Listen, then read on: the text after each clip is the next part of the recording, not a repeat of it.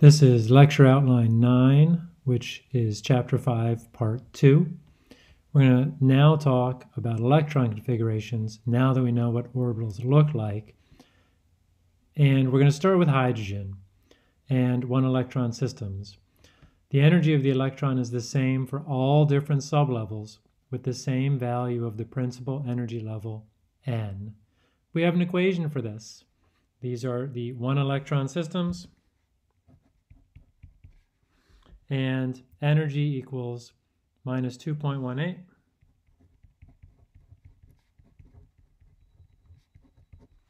times 10 to the minus 18 joules times z squared times the quantity 1 over n final squared minus 1 over n initial squared And this equation for hydrogen in all one electron systems does not depend on sublevel. Because for one electron systems there are only two charged particles and it doesn't matter whether it's in 2s or 2p um, the energy will be the same. This is only for one electron systems only systems for which this equation works. Another thing I want to talk about here is uh, an electron in the ground state. The ground state is going to be the lowest energy state.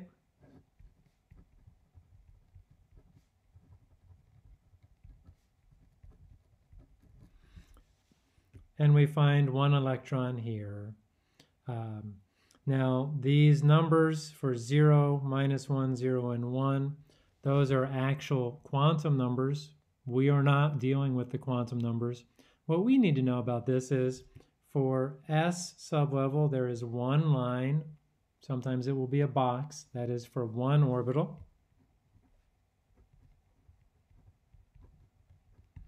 For P, there are three orbitals, whether it's a 2p or a 3p. For D, there are five orbitals. For F, which we will see later, there are seven orbitals. Okay. Uh, the other thing we want to define is what's called an excited state. An excited state is any state with higher energy than the ground state.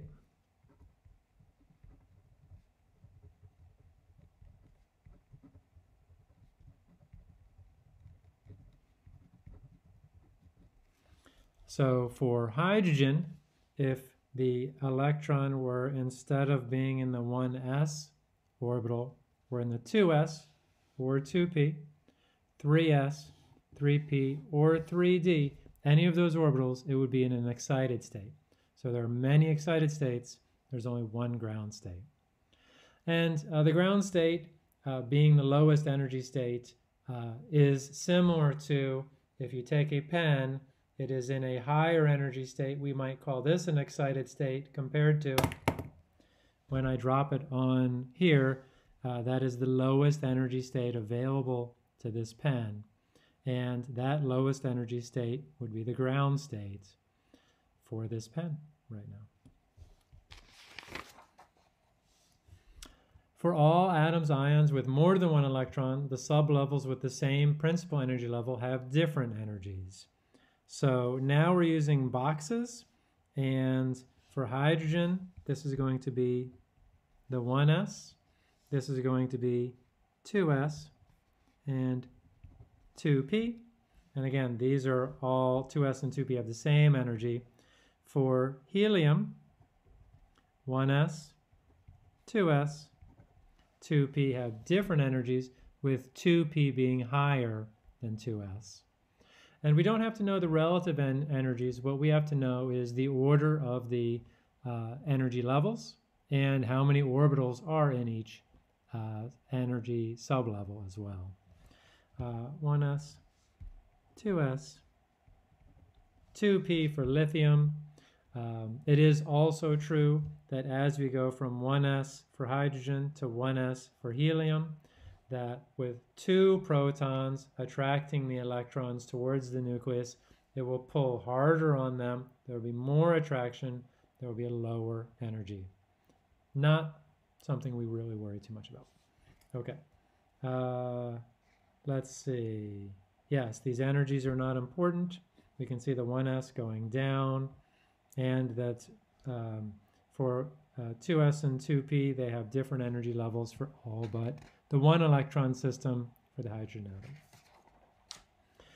All right, so the order of all the sublevels from lowest to highest energy follows the shape of the periodic table, and this order is something you have to memorize.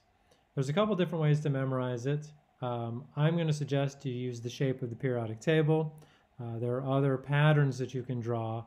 Uh, doesn't matter to me how in the end you end up memorizing them as long as you do. Goes from 1s to 2s to 2p, 3s, 3p, 4s, 3d, and so as you're going up, this is energy, uh, or most notably potential energy. Um, and this is what's called an orbital energy diagram.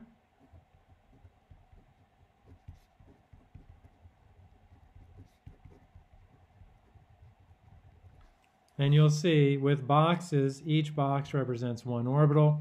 We'll tell you how to put the electrons in. You've seen a little of that already, but we'll go through it formally. And it says, note the energies of the D and F levels vary with their occupancy. Uh, we will go a little tiny bit into that and happy to answer more questions as we go. All right, so what does this mean? So let's see. According to the shape of the periodic table, as we go from 1s to 2s to 2p. According to the shape of the periodic table, this section of the periodic table is going to be the S area. It has uh, two electron, two elements wide. We will see that one orbital holds up to two electrons. This is the p area. So three orbitals.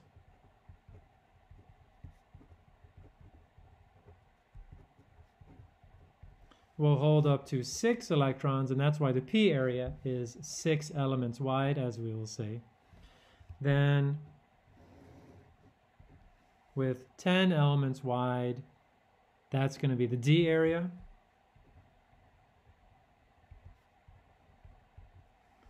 Five orbitals hold up to 10 electrons.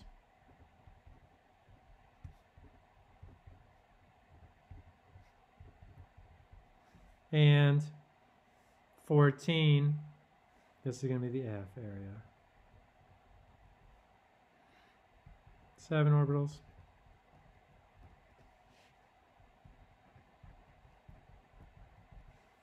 Up to 14 electrons. Now, uh, how do we get back to that previous slide where we had the order of the energy or the uh, order of the sublevels? If you start up here, you'll see that there's a 1. This is the 1s area. Helium is a noble gas. Some periodic tables also show it right here because it is in the 1s area uh, as far as placement of electrons. When we get to the end of one of the rows after 1s, ding, go back to the left, carriage return for those of you who remember typewriters, 2s, all the way across, 2p, so and so 1s, 2s, 2p, ding, 3s, continuing across, not in the D area yet, we got to be down here, 3p, ding, 4s, Ah, we're now to the D area. And this is a little confusing. Uh, so, but, well, anyway, you'll just have to memorize it. 3D is the first of the Ds. So this is going to be 3D.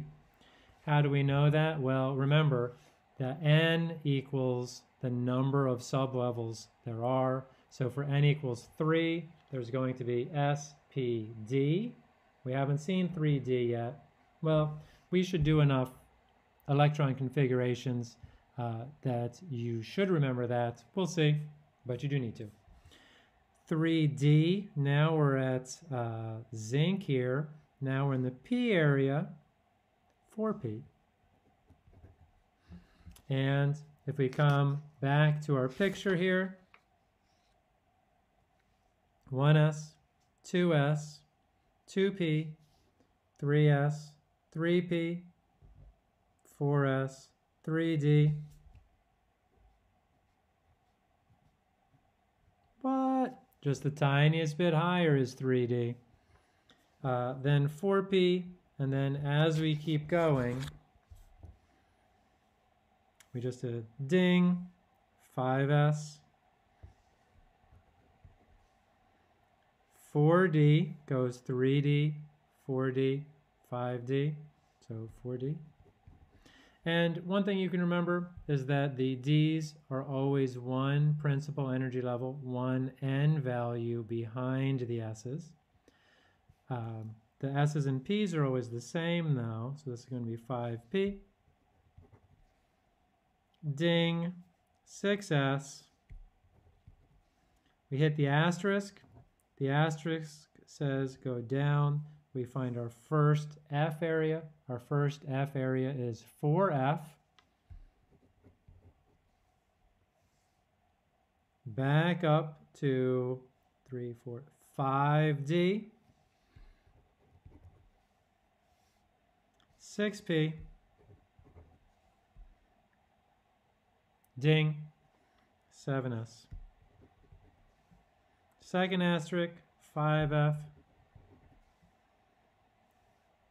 3, 4, 5, 6D. And for all of the elements that we know of so far through 118, the last one is 7P, uh, which is a little bit farther than the previous slide went to, but uh, that covers all the elements. Okay, so we're, we're, we're building up here where each orbital can hold two electrons with each electron having a different value of the spin quantum number s. We're not doing quantum numbers. What we have to know is that for each of these boxes that I'm showing you, I will draw an up arrow and a down arrow. The up arrow has uh, is called spin up and has the spin quantum number equals plus half, it's a positive one. The arrow pointing down is spin down.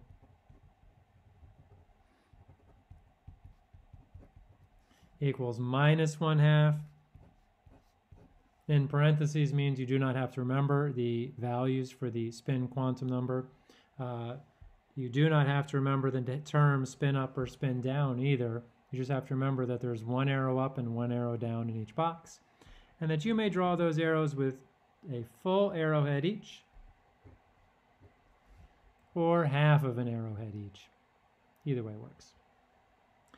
Okay, Hund's rule, in parentheses, don't have to remember it. Place one electron in each of the p, d, or f orbitals before pairing any electrons Let's suppose we had three electrons in the 2p sublevel.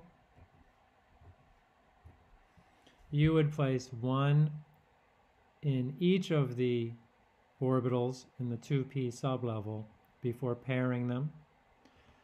Two things I can say about this. One is, uh, if you think about pairing electrons, electrons are negative things, so if you put them in the same orbital, they're going to repel each other, and that's why they go each in separate sublevels, sorry, separate orbitals in the same sublevel first. Uh, the other thing is they always go either spin up all of them or spin down all of them. It doesn't matter which one. Uh, some people are more optimistic and put all spin up. Some people are more pessimistic and put all spin down. Uh, I, actually, I don't know if those go together, but what's important is you can't put up, down, up and have it be correct. Happy to talk more about that in office hours, but that's what we have to do.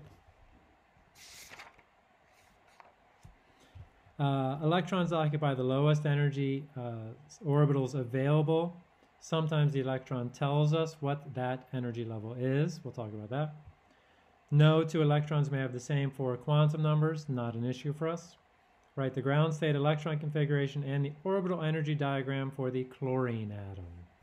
Well, we still have our handy dandy periodic table, it tells us that the chlorine atom is uh, has 17 electrons.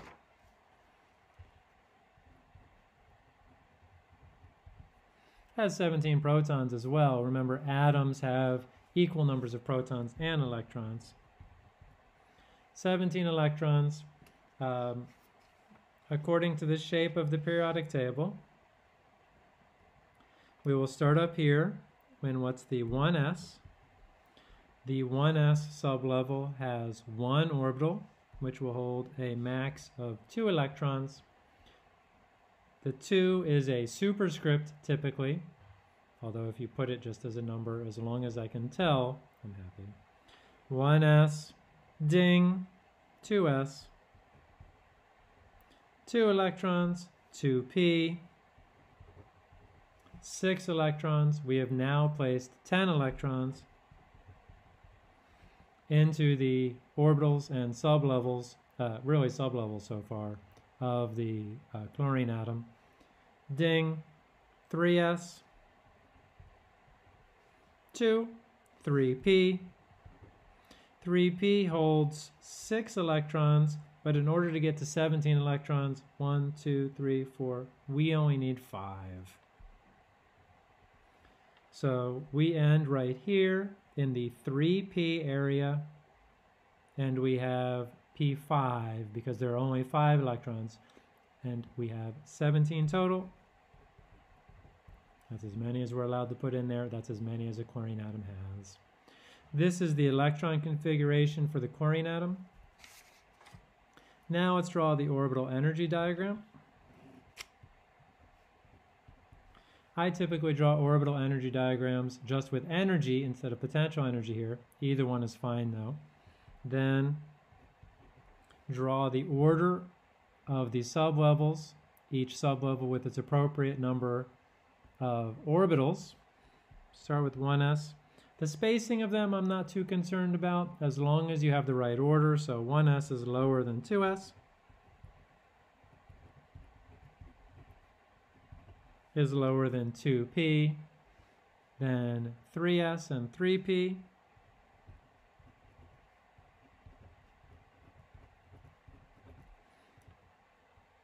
And you do, for the orbital energy diagram, have to put in the arrows.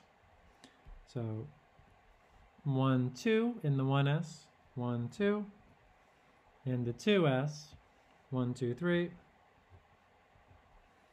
into 2p, 4, 5, 6.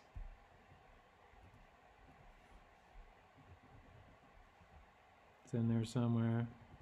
There it is. Into the 2p, that's all six of them. Now 3s, 1, 2, 3p, 1, 2, 3, 4, 5. That is the orbital energy diagram for the chlorine atom. That seems a good place to stop for this video. We'll pick up there next time.